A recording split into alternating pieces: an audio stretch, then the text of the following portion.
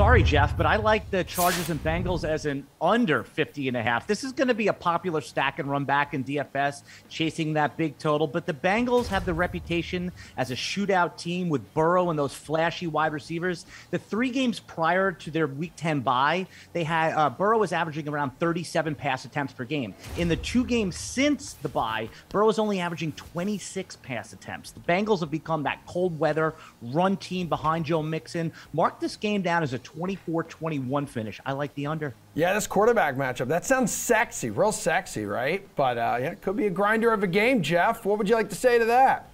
Well, I mean, I thought Alan and I were friends, but I guess not. um, no, that, that's fair. Um, okay, so I, as far as unders go, I mean, I, I, just I can't get away from the under on the Tampa Bay Atlanta game. I, I get it. I mean, you know, you've got two teams that, that like to pass the ball, and and you know, it, it Atlanta tends to get in these, some of these crazy games, but how are they going to score? I just I, I, just do not see how Atlanta scores against this Tampa Bay defense. Such a good defensive line, uh, bringing good pressure. Matt Ryan and uh, and and the Falcons.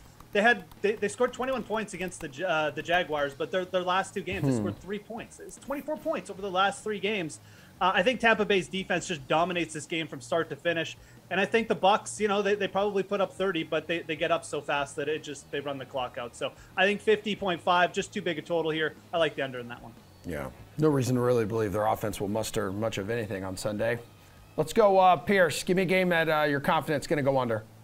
I'm on the same game. I just don't see Atlanta doing anything. And I think Geoff probably could have emphasized 21 points versus Jaguars. That's really not very not good. good. You should score a lot more points against. I'm sorry, Emerson, but 21 Ugh. points against Jacksonville. If you're a decent offense, you put more points on the board. But they don't have a decent offense. They don't have much of an offensive line. Uh, Pitts is their number one receiver to give you any idea of what they're dealing with. He's a good tight end. He will be good someday, but he is not a good wide, number one wide receiver. He's not a good number one wide receiver when he has to line up against cornerbacks. You can only, you know, push Cordarrelle Patterson so far. You're going to run him in between the tackles against Tampa. Probably not going to work. They've had success with that against other teams. That's not going to work on Sunday against Tampa. I don't see them scoring points.